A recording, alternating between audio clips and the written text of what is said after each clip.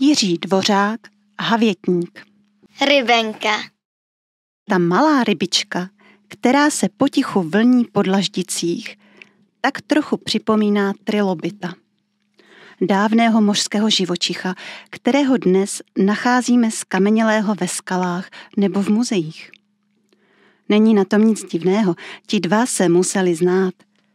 Rybenky jsou totiž na světě už asi 300 milionů let.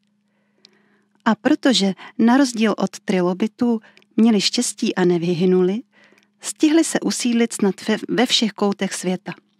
V tropických pralesích, ve štěrbinách pod kameny, ve sklepě i za knihovnou. Spokojí se s tím, co zbylo, snědí spadlý list, útržek papíru, který slétl na zem, ztracené zrnko cukru, odlupek kůže. A když některá z rybenek doběhá, nechá své tělo ostatním jako pohřební hostinu.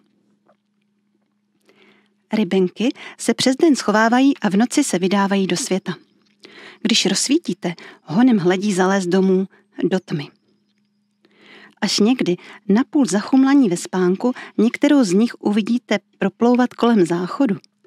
Představte si, že jste se vrátili o miliony let zpátky.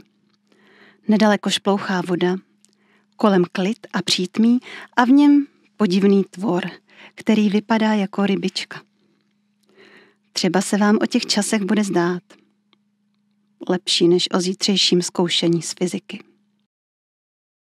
Je rybenka ryba? Dobrá otázka. Rybenka je hmyz. Podobně jako včela, mravenec nebo brouk. Nemá sice křídla, ale za to jí nechybí šest nohou, tykadla a kusadla. Ale ten, kdo jí vymyslel jméno, měl postřeh. Tělo štíhle jako rybička, pokryté stříbřitými šupinkami, na zadečku tři přívěsky, podobné ploutvy a když běží, jako by plavala. Zkrátka rybenka.